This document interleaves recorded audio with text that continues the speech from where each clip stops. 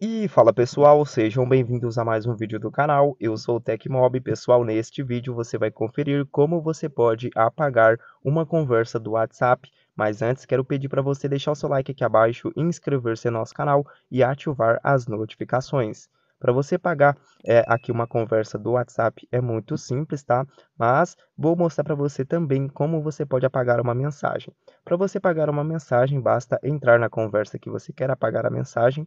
Aqui na conversa vocês vão ver, vão estar clicando aqui e segurando sobre a mensagem específica. Em seguida vai clicar sobre a lixeira e vai clicar em apagar para todos ou apagar para mim. Aqui vocês vão escolher qual você deseja, tá? Apagar para mim só vai apagar para você e para todos vai apagar para você e para outra pessoa também.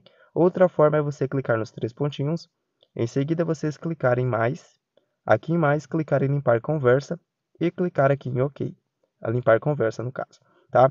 Para você apagar uma conversa e remover essa conversa da, do menu principal do WhatsApp, pressione sobre a conversa, em seguida clique sobre a lixeira e clique em apagar conversa. Feito isso aqui, você já apagou uma conversa do WhatsApp. Então é isso, vou ficando por aqui e até mais.